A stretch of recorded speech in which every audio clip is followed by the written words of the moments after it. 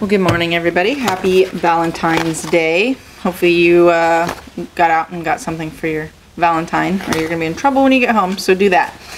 We only have one Interwatch item uh, to go over today, and it's one that we've already talked about this weekend, but there's some new information that we wanted to put out today. So it's the burglary at the P4 Firearms. That case number is 17C009469. It was a burglary at P4 Firearms located in the 1500 block of North Broadway.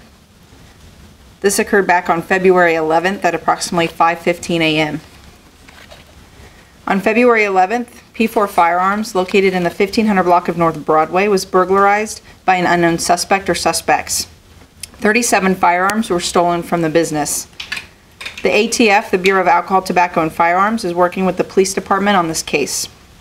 The Bureau of Alcohol, Tobacco, and Firearms and Explosives and the National Shooting Sports Foundation, which is the NSSF, the Trade Association for the Firearms Industry, are offering a reward for information leading to the arrest and conviction of those responsible for the theft of the firearms at P4 Firearms. ATF is offering a reward up to $5,000, and the NSSF will match for a total possible reward of $10,000. We would ask anybody with information about this burglary to contact the ATF at 1-800-ATF-GUNS. That's 1-800-283-4867. You can email atftips at atf.gov or contact ATF through its website at www.atf.gov, uh, contacts, and then ATF tips. Uh, all tips and calls will be kept confidential.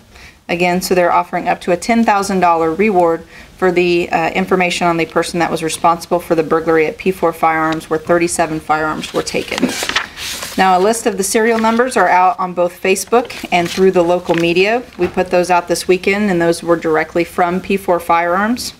We would urge anyone that is thinking about buying a firearm from an individual to do your due diligence in finding out if that gun is in fact stolen. Now, if a person buys a gun that is stolen and then has contact with the police department who will check that gun to see if it's stolen, that person can face misdemeanor possession of stolen property charges even though they didn't know that the gun was stolen and it works the same way as any kind of property that you buy. So we would just ask that you do your due diligence and uh, check. You can contact uh, local police departments, uh, substations to find out if the serial number is on file, is stolen, and then obviously we would urge you to uh, contact authorities and not purchase that firearm.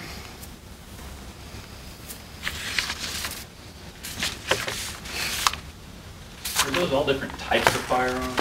They were, they were, in the and the comprehensive list is the one that P4 actually put out with the serial numbers, the make, the models, and everything. Um, it's on our Facebook, and I know, um, obviously, it's been shared numerous, numerous times. So if we could get that out again, just to make sure that, you know, uh, an individual that legally wants to purchase a firearm is not purchasing something stolen that's going to get them in trouble in the future. What's your biggest concern when you have so many firearms stolen from the store? That's, that's enough to. Absolutely. Absolutely, and, and obviously, it's a, it's a concern not only for the department, but the community. I mean, that's a lot of firearms that are out, um, you know, and, and we don't know the suspects, we don't know what their intention is of, of those firearms. So that's why our partners at ATF, you know, have stepped up a lot. They're helping us investigate the case, and then that's when that ten thousand dollar reward came in. So definitely, somebody's out there that knows uh, the individual that did this, and uh, they can they can get quite a bit of cash if if that uh, information is called in and leads to the arrest. So we're hoping that, hoping that our community steps up and, and we don't have any um, suspect description or um, videos or photos to put out right now. So we're just hoping that somebody knows uh, that a suspect has these firearms and will turn them in. Again, it's all confidential. Nobody will ever ask your name, um, and you can get get money. Okay. Is there an approximate dollar value on this?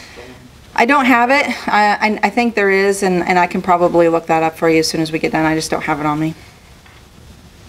Okay. Any update on uh, Officer Osborne's health? Uh, still in critical. Still at the hospital. Still critical.